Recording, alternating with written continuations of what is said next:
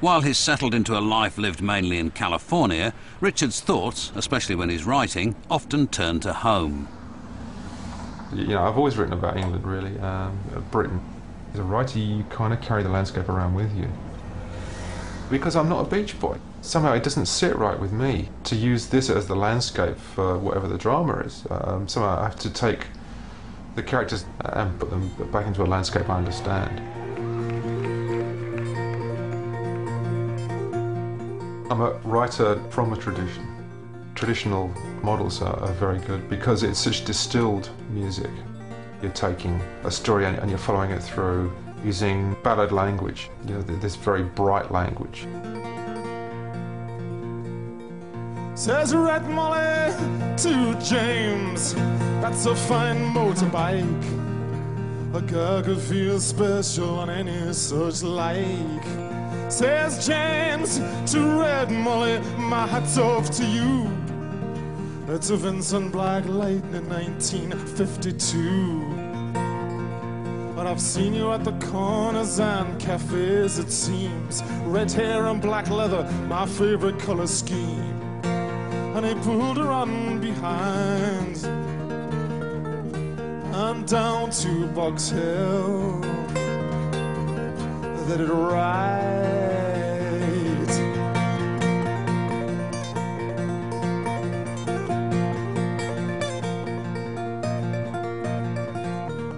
Vincent Black Lightning is a racing specification bike.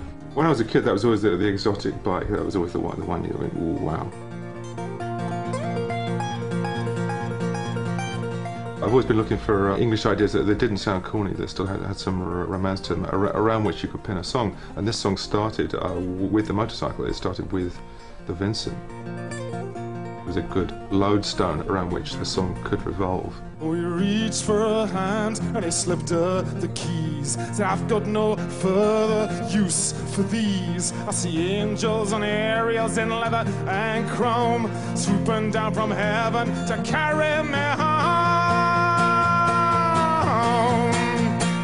And he gave her one last kiss and died and he gave her as Vincent a to ride.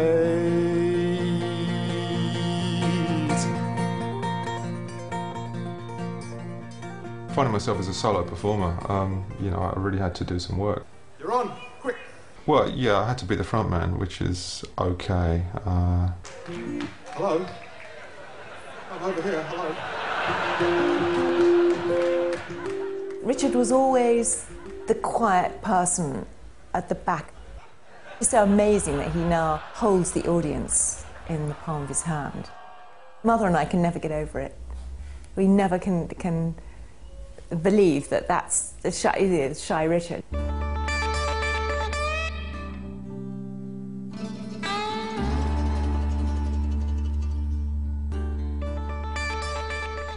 It's like a state of grace in a way.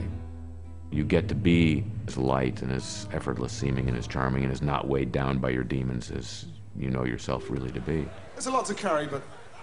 He's roaming through this catalog of profoundly um, dark and disturbing music in a lot of ways and just sort of lightly tiptoeing through it and picking, picking a dark flower here and another black rose there. This is the nearest to being alive.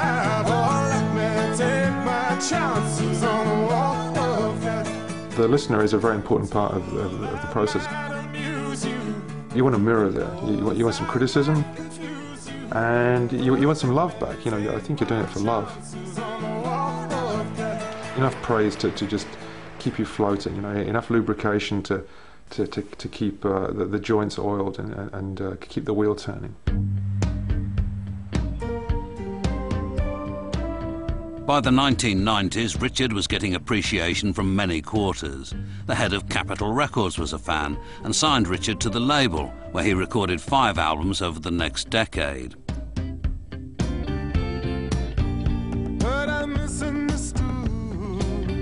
During this time, Richard was also nominated for a Grammy as well as being honoured back in Britain with an Ivor Novello Award for his outstanding achievements in songwriting.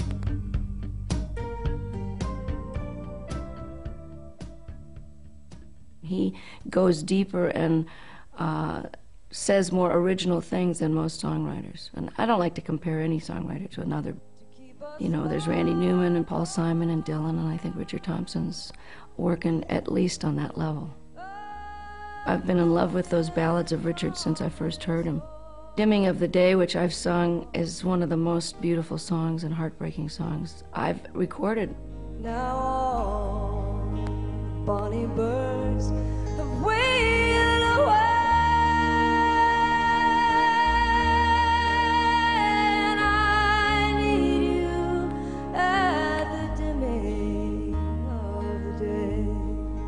He's funny and he's not self involved and, you know, loves his life being a dad. He's a beacon for people that are uh, traversing the more uh, occupational hazard part of rock and roll. Richard seemed to have all the fun without all the dastardly results the rest of us had to live through. I'm on the road tomorrow and uh, I haven't got any shirts to wear, so I have to do a bit of laundry. I don't see him hanging out at the scene too much when there's big parties with Don Henley, you know what I mean? He's a grown up. I've been over there and it's a lovely, beautiful garden. I've learned to be loud with my plant choices. Pastely English pastoral look uh, doesn't quite work here. Things pop into your head. It's one of those activities. But ideas come to you because you're not, you're not thinking about it. I think a lot of the problem is uh, switching your brain off. Once you've switched your brain off, then good things happen. Unlike several rock and rollers one could mention, Richard follows a regular work routine. I live the way I live. Creatively, to be more efficient, I, I get up really early. Um, that's age as well. That's just getting old. But it's very convenient for me um, because you know I can work longer hours. It's all work in progress. We don't we don't discuss things while they're, while they're being processed. Otherwise, you can you can talk something into the the dustbin. So I won't. We don't talk about it. He does that job, but we refer to it as his job, his work. I never even say, you know, how's the music going, honey, or anything. We just don't. We don't talk about it, and it's because we.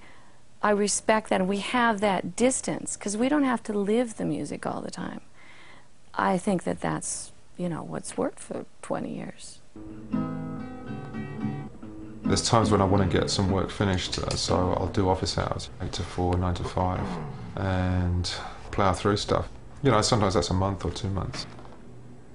My family doesn't like me during those periods. Um, my, my family finds me moody and withdrawn and difficult to deal with. My misery, my misery. Ah, right. To my misery. living with a creative guy, well, it has its, you know, positives and negatives. It's not like living with John Denver. Now, of course, I hear little snippets of it around the house. I might hear something, but I never even admit that I'm listening to that. Like perfume in the air. I'd love to hear those songs in progress. it would be great.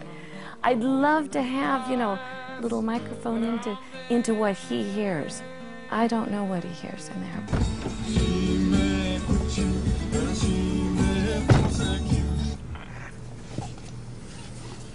Why did you switch that on? It's me. I don't like it. Don't like listening to me. If you're a writer, you know you, you, you live in society, but you're kind of on the edge of it.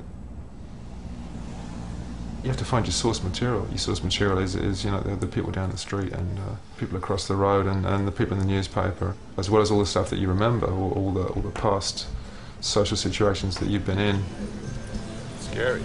So you, you need fuel, and for fuel, you, you need to be out there with your eyes open. Me? No, the man you're filming. Oh, me? I'm not a big personality, no, I'm a very small personality.